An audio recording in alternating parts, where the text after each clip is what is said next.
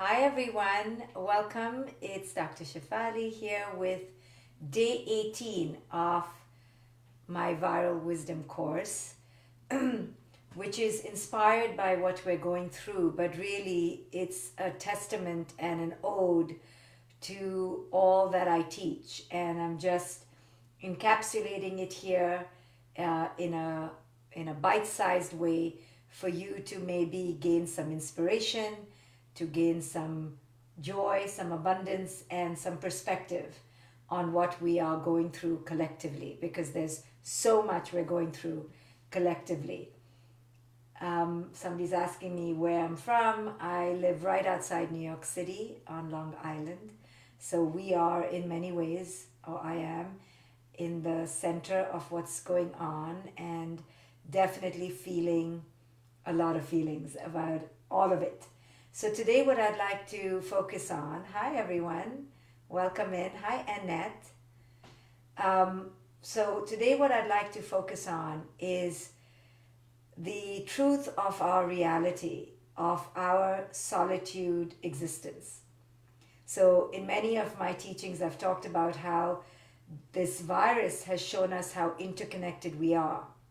But today I'd like to talk about the cor- corollary of that the corollary truth of that.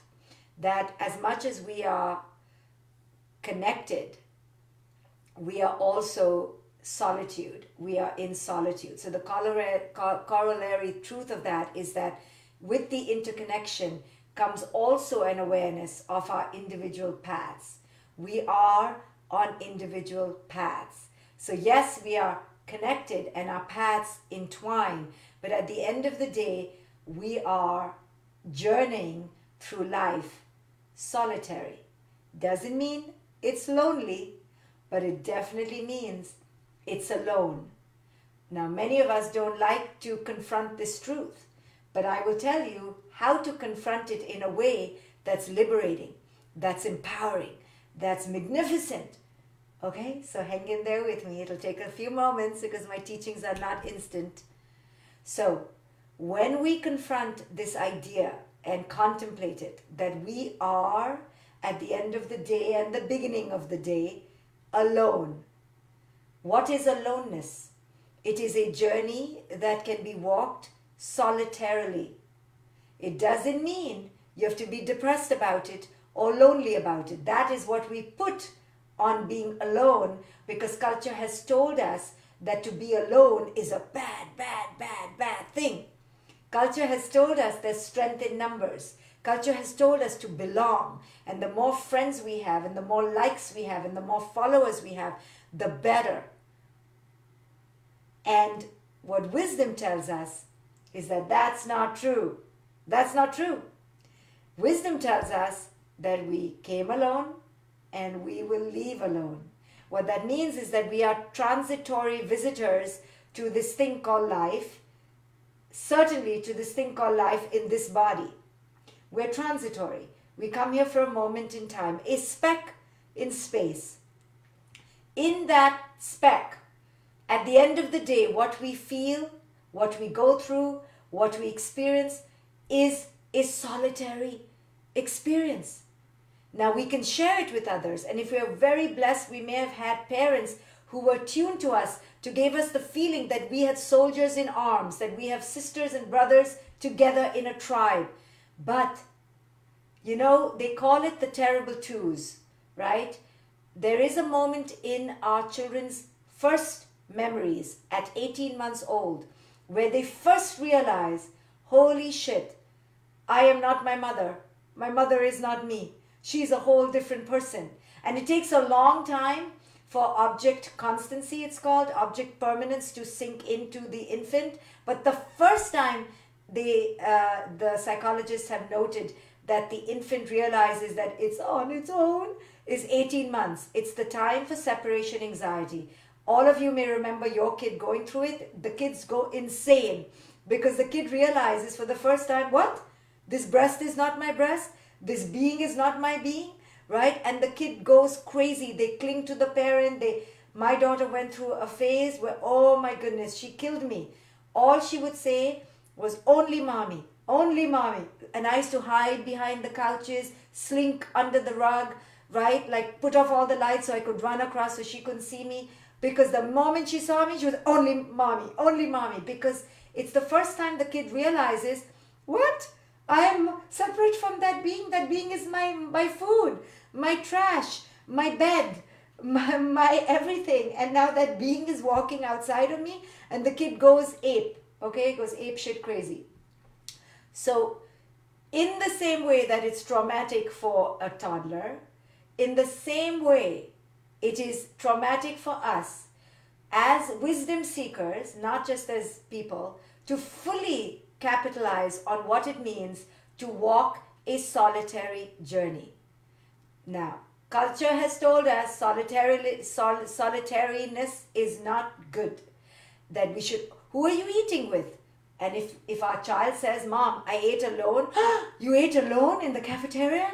That means no one loves you? That means you don't belong? That means you're not good enough? That means I've done something wrong, right? Or if you are not married, holy shit, you cannot not be married. If you're not married, something is wrong with you. What? You have no one to call your own. You're not attached to someone else. You're not a Mr. or a Mrs. You're not you're not a parent. You're not a you're not a partner. How are you living? Right? And if you're over 40, that's it. Something is wrong with you for sure because culture likes us in numbers. Now, on one level, culture understands that it is to our advantage that we live in a community. Great, wonderful. We, we must, we must be interconnected. We should be uh, living tribally and communally. But in essence, our spiritual journey is walked alone. Now, when you capitalize on this as a wisdom seeker, not just not just intellectually, but truly understand what this means on a wisdom level, what this means is that you have to know yourself. You must acquaint yourself with yourself. All intimacy then begins and ends with you. And I think this virus is showing us in a big way that we don't know who we are.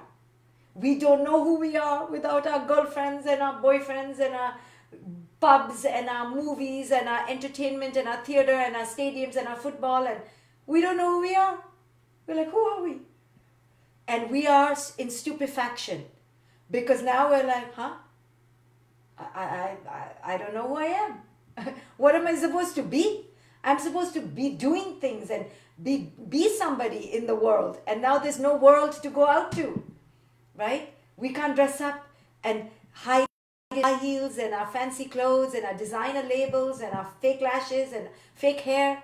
We have nowhere to go. And we certainly don't want to dress up for our partners. We're like, ah, I don't want to dress up for you. I like to dress up for strangers. So strangers can give me accolades. I don't want to dress up for you. And what? I have to be a good person for my kids and I have to be inspirational for my kids. Enough. I want strangers. That's how we've been living our lives, right? We women, especially, now we realize, huh, how come we're okay in sweatpants all the time, but when we go out, oh, we can't wear sweatpants? How come we're okay with our hair graying now? Oh, I'll tell you why and how. Because only our partners are looking at us. Poor partners. So now we're beginning to realize we don't know who we are alone, on our own, right? How much Facebook can we look at? How much Instagram can we look at? How much Netflix? We're like, damn it, I'm like really bored with myself. I'm bored. I don't know what to do. I don't know what to do with myself. I don't have purpose. I don't have passion. I'm sick of my kids. I'm sick of my partner. So now we are asked, how much do we really love ourselves? And let me tell you, if it wasn't for this virus, we would never confront this question. So when I went for my Vipassana meditation retreats, the first time I went when I was 21, I promise you, I looked at the clock every 30 seconds. And I was like, what? It's still the same minute? The minute has not passed? Forget the hour, forget the day. You know why? Because I couldn't bear to sit with myself. It was torture. Torture. I was like, why am I here? And the only reason I stayed, honestly, is some pride And because I didn't know how to drive a car at 21. Yes, I was fresh off the boat of India, didn't know how to drive. So I was like, damn it, where will I go? And I'd just come to America. It wasn't even fancy, wasn't rich, wasn't anything. Not that I'm rich now or fancy now, but I was like, where will I go? I was in the middle of some some boon town in California. So I stayed. But I hated it. I hated it, I hated it, I hated it, I hated it because all I had was me. And I was not fun. And I was so tortured with my own presence. I was like, I, I don't like me. I want to run away from me. And there was nowhere to run. There was no food. We couldn't even run to food. No alcohol, no sex, no boys, nobody to distract myself. Only me, me, me, me, me. And I realized for the first time how little I like myself. How it, until then, it hadn't even occurred to me that, oh, I was supposed to like myself. I had grown up thinking, I don't need to like myself, others need to like me.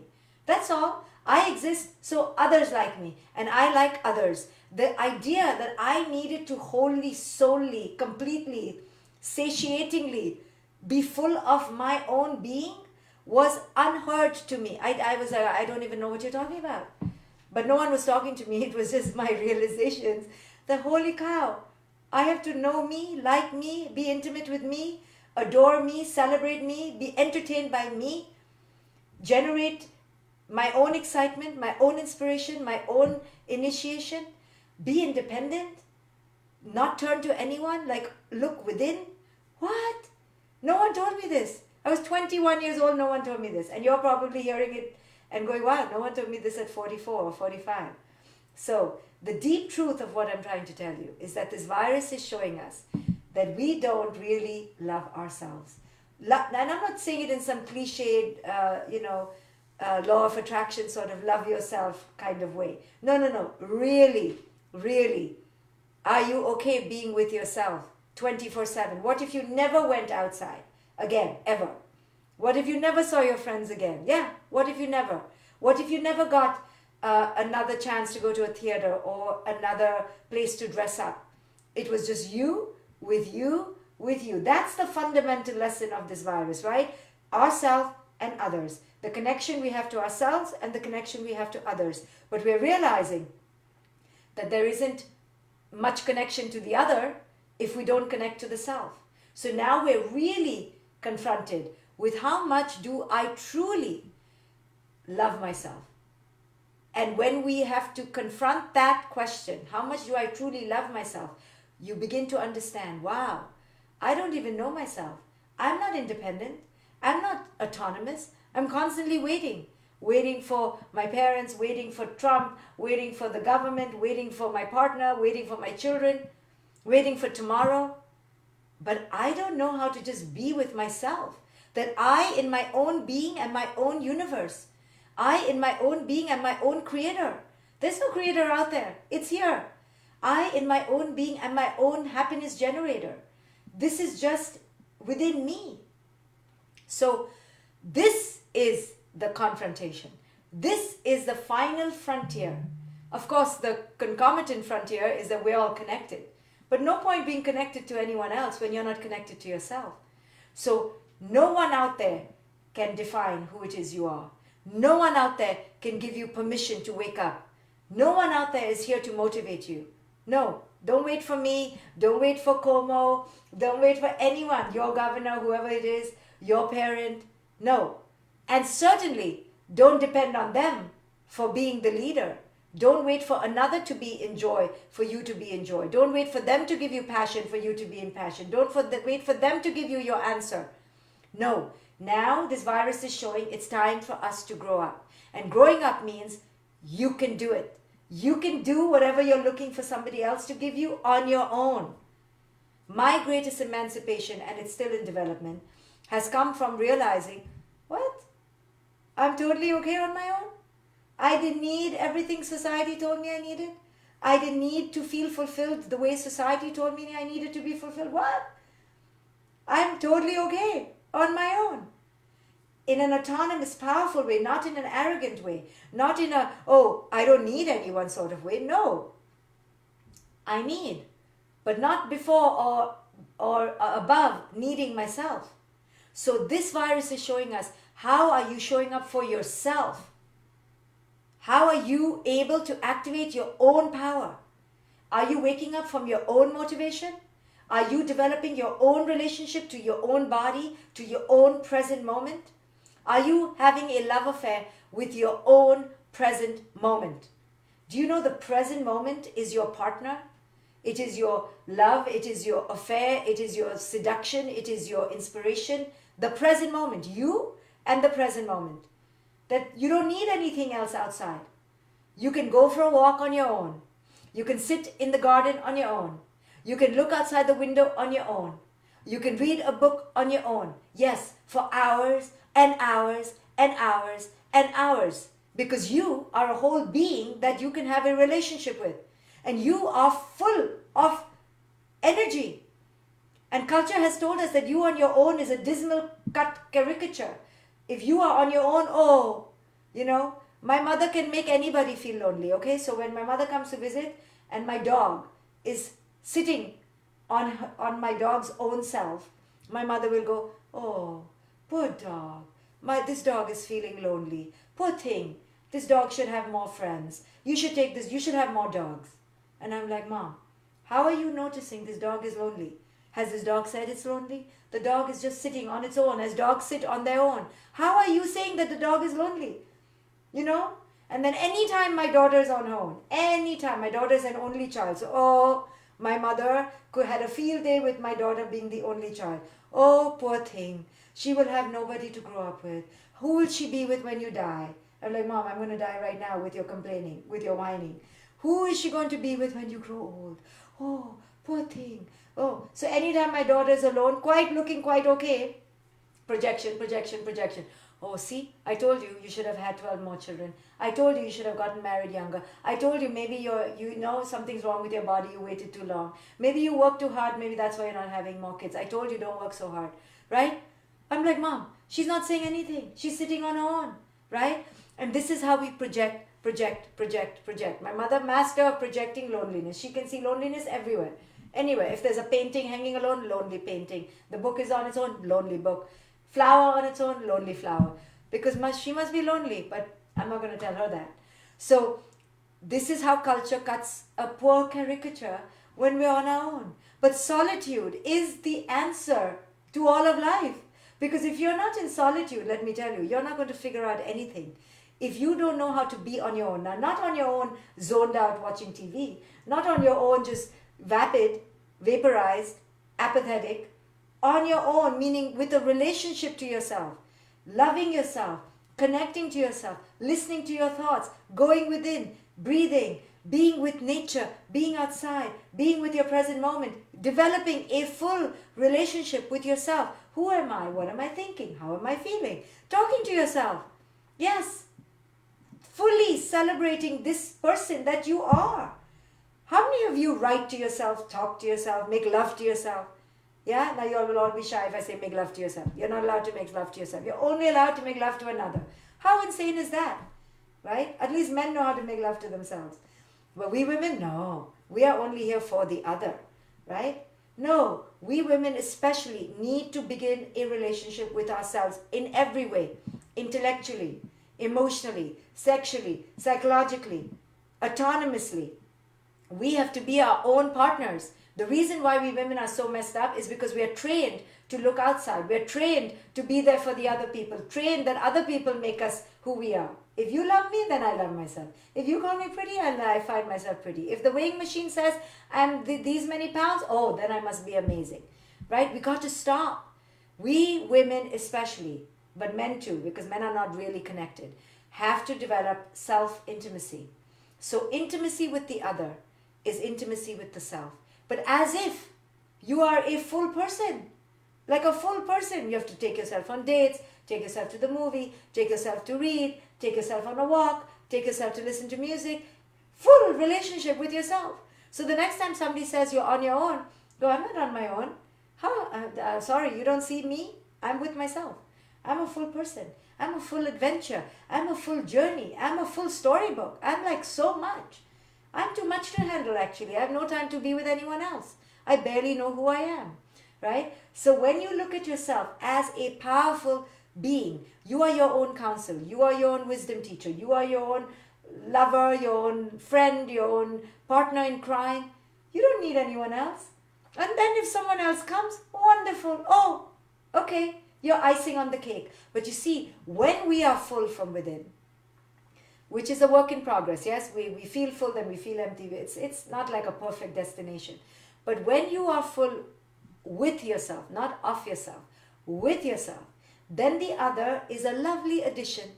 But the other is not held on to like they are lifeline. Your children are not held on to right? You're like, okay, please go live your life. You're not like holding on to them, please don't go to college. My daughter's 17 and now she may not go to college. That's very depressing to me. I was like all ready for her to go. And I'm not a popular mother. This is not a popular thing because mothers are supposed to say, oh, I'm going to miss my kid going to college. But me, I am no, no, I'm like waiting. I'm missing for her to go to college. I'm like, hello, where is college? Because I don't need to live my life through being a mother so close 24 7 i'm like no no please go live your life but mothers are not allowed to say this we're supposed to be oh i'll miss my child no i won't i have my full life right? So when you have a full life others are welcomed short-term additions yes? But not they don't need to be there 24 7 they're not here to give you definition. They're not here to make you feel good about yourself to culture right? So when you realize that when you realize that you in solitude are a whole, full time, very demanding relationship, then your aloneness is never lonely. Aloneness is just an idea, right? In fact, it is the only way to truly be present. We cannot be present in the company of others. We cannot be alive fully unless we are alive alone. So, aloneness is not to be resisted. And I know that you're feeling alone, many of you at home because you've mixed up aloneness with loneliness. But if you take out the loneliness and you understand aloneness is lo- lovely, celebrate it. This is a final chance, the only chance perhaps, for you to truly know who it is you are. Go and write, go and read, go and draw, try your hand at everything, learn new things or not, be with yourself in nature or not, exercise or not. But whatever it is, please do not buy into culture's idea that if you are alone, you are not good enough because that is so not true. So, this virus is showing us that we can be alone. We are forced to be alone. Now we can choose to be alone in celebration or look at this as a pathetic thing. It's up to you. Me personally, I couldn't be more joyful for this opportunity to uncover my crap, to heal my crap, to finally use this time where I'm not distracted, where I'm forced to look in the mirror, to really grow, to ask myself, how have I been living inauthentically till now? How have I been living afraid till now? How have I been living small? Who do I really like in my life? Who do I really want in my life? Who is really a match? Then I ask, how have I not created boundaries in my life? How have I allowed crap to occur in my life? How have I allowed it? Right? Somebody in one of my other groups wrote how they are noticing their partner not being there for them and their partner being emotionally unavailable. And I wrote back to the, to her, no, no, no, no, no. Your partner is only a wake up call. Your partner is only a mirror to show you how you are emotionally unavailable to yourself. Right? So, this is the time for us to see how we have deserted ourselves, how we have abandoned ourselves in our lives. Use the next few months, yes, few months. It will take few months for a close examination of whether this life you had been living till now was it your most authentic life? Was it your most powerful life? Was it your most turned on, lit up, illuminated life? Or were you hiding? Were you scared? And now ask, why was I scared? What false attachments was I holding on to so that kept me scared? Was I afraid of being alone? And the answer 100% was because you were afraid of being alone. You wanted the love of the people you thought you wanted the love from. You wanted the approval of culture, of your parents, of your cousins, of your cousins and their daughters and their nieces and their, and their cousins and their friends and their neighbors. You wanted approval. The reason why we never went forward with our lives in the way that we dreamt is because we were too scared to lose the love of those around us. We thought we would get invalidation and disapproval. And again, that comes back to we were not good enough for ourselves. So now, now, but don't run out the door because you can't run out the door, yes? But just examine all the ways that you were holding yourself back because you were afraid to be alone. All answers will come back to I was afraid to be alone. I was afraid to be alone. I was afraid to lose the love of somebody I thought I couldn't lose the love of. And let me tell you, only through losing the love of those we thought we couldn't lose the love of, you will find self self love. Only by losing that crutch, losing that person that you were so dependent on, you thought you couldn't live without. Only when you lose that, you will find that you never needed it.